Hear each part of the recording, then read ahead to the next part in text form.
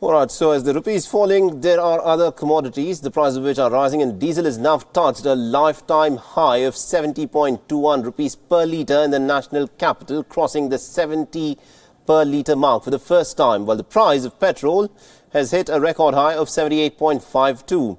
The diesel prices in Delhi today witnessed a 28 paise rise per litre.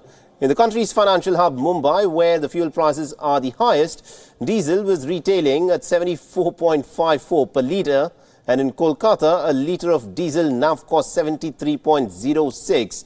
Petrol prices have also gone up pretty sharply by around 21 paise per litre to 81.44 in Kolkata to rupees 85.93 per litre in Mumbai.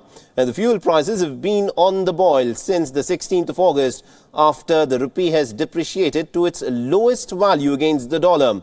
The fuel prices in Delhi are considered to be one of the cheapest in all metros and most state capitals due to lower sales tax or VAT.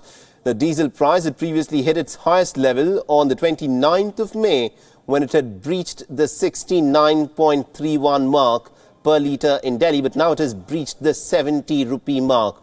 The petroleum prices may in fact continue to go up as the international markets are under severe pressure due to sanctions or the threat of sanctions on Iran and Saudi Arabia's decision to cut oil production.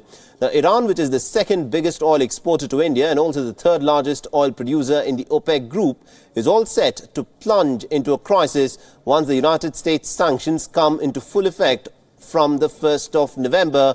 And therefore, over the period of the next two, three months, the prices of petrol and diesel could in fact take a bit of a beating.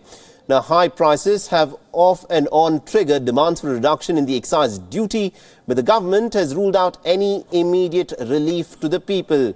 The centre currently levies a total of about 19.48 rupees per litre. That is the amount of money that is going into the central government's kitty, about 19.48 rupees per litre every time you purchase petrol. And also 15 rupees and 33 paise is, is the amount of taxes so which just the central government collects per litre of diesel and the state governments collect a pretty much equal amount of the share.